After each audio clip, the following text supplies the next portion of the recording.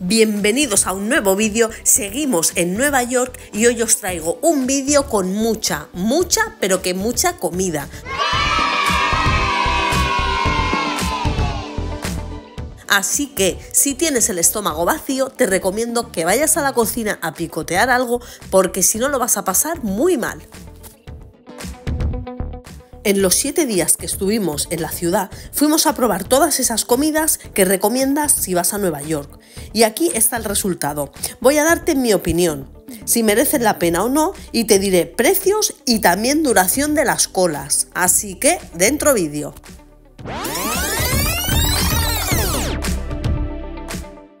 Nueva York está repleto de puestos de comida, así que por el módico precio de unos 10 dólares tendrás un bocadillo como este con bebida y además te lo servirán muy rápido. En la cadena de pizzerías Chu Bros Pizzas podrás disfrutar de porciones por tan solo un dólar la margarita y hasta cuatro con diferentes toppings. Están muy buenas y es una opción muy rápida y económica. Los perritos de papaya son los que más nos gustaron, los que tienen más sabor. En estos carritos que te encontrarás por todo Nueva York podrás hacerte con tu perrito por tan solo 2 dólares. Hacer un picnic en Central Park es una muy buena opción si el tiempo te lo permite sentirás la necesidad imperiosa de probar estas salchichas rebozadas y con palo, ya que las anuncian en muchos puestos de comida en Nueva York. Y como en España no las venden, pues queríamos probarlas. Chelsea Market ofrece una gran variedad gastronómica. Nosotros nos decantamos por probar Takumi Taco, fusión mexicana y japonesa.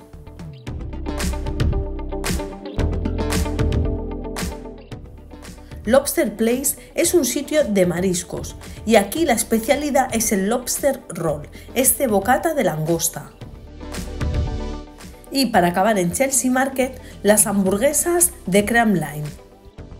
Una buena opción si estás aquí. Por poco más de 15 dólares tendrás tu hamburguesa y tus patatas.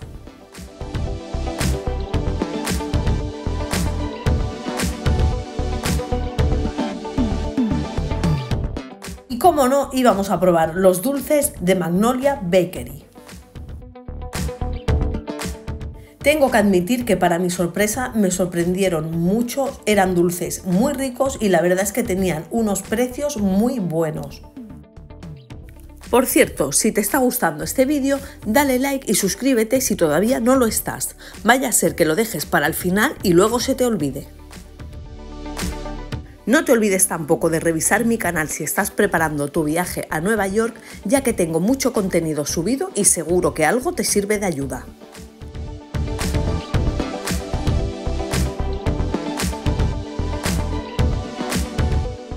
Había muchísima variedad de dulces. Nosotros cogimos un muffin de red velvet que estaba espectacular y una porción de brownie.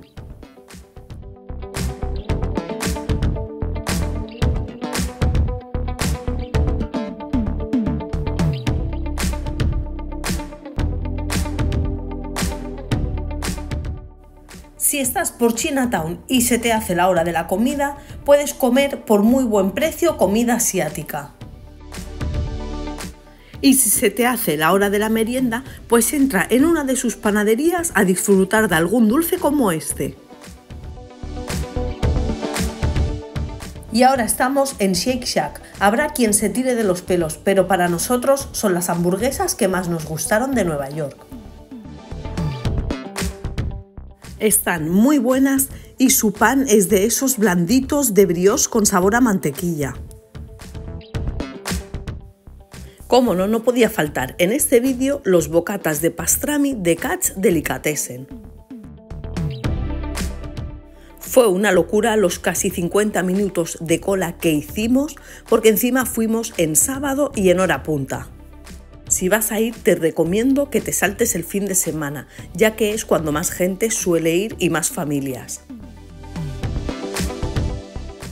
Una vez dentro fue peor que fuera, porque mirar la de gente que había dentro del establecimiento.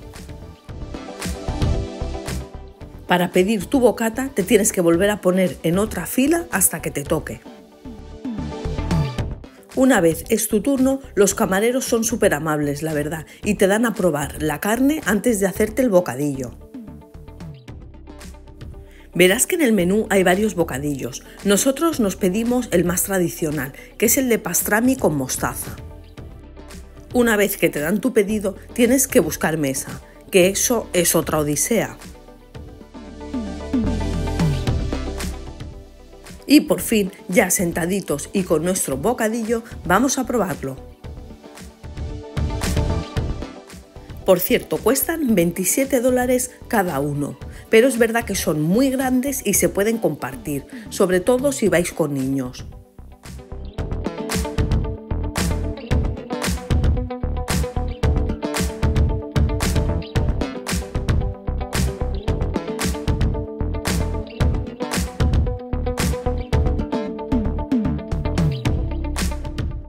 El local está repleto de fotografías con muchas celebridades que han pasado por este restaurante.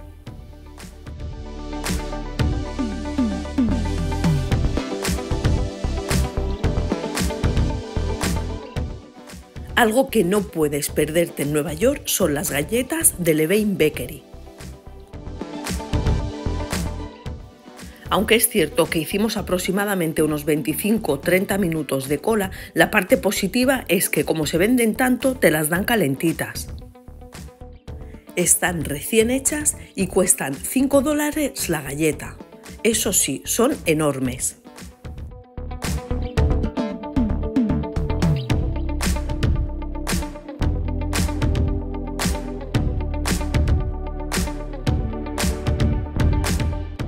Encontrarás varios restaurantes de los tacos número uno. Hay varios por Manhattan y uno en Chelsea Market. Eso sí, prepárate, porque siempre y en todos vas a encontrar colas. Algo que me gustó mucho de los restaurantes de Nueva York es que en varios vi que permitían entrar con las mascotas caninas. Los tacos te los hacen al momento. Hicimos aproximadamente media hora de cola y eso que no era hora punta, eran como las 6 de la tarde. Y lo malo es que no tienes dónde sentarte. Encontrarás barras a lo largo del local y ahí pues te apartas y te comes tu taco. Cuestan aproximadamente 5 dólares cada taco y ves cómo te lo hacen en el momento. Y en mi opinión sí, mereció la pena los 30 minutos de espera.